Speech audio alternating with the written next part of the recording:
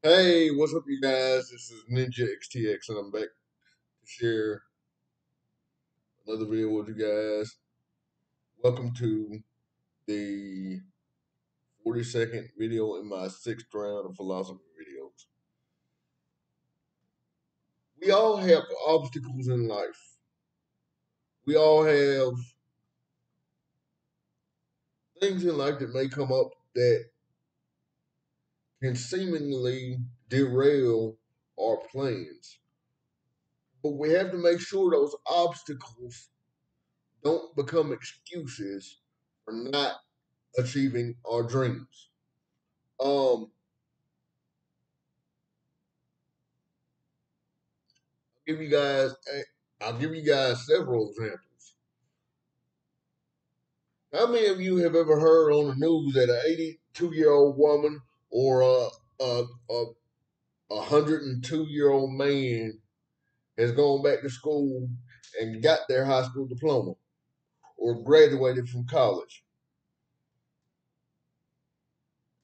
That was a dream deferred, but it was never a dream not realized.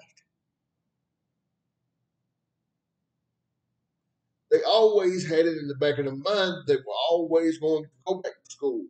They didn't let anything stop them from going back to school. They didn't let anything stop them from achieving their dreams. Even though it took decades, they still made steps every day to get to the goal that they wanted. So, what is your excuse?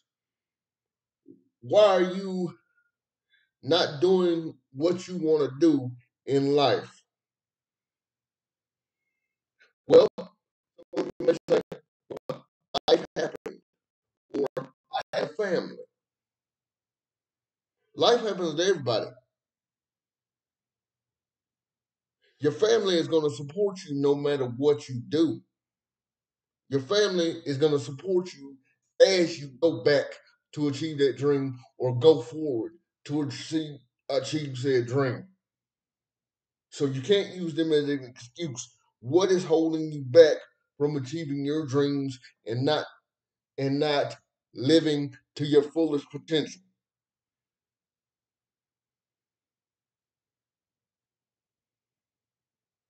Puts thing in a whole put puts thing in a whole different perspective, right?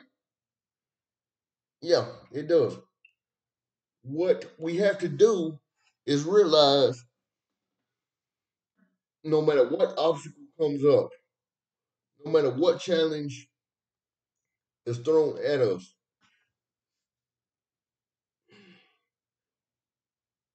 make moves toward your goal every day. It may seem like a small move to someone, but if it gets you closer to your goal, who cares what other people say? If it gets you that much further to your goal than you were yesterday, who cares what other people think? Food for thought. I hope that made sense to you guys. I hope that touched someone's heart. I hope that made someone think about how they may be living life. Peace, take care of yourselves and each other. One world, one love. I will see you guys tomorrow for our next Carebound Discriminate lesson at 11:45 a.m. Until then, take care. Bye bye. I'm out.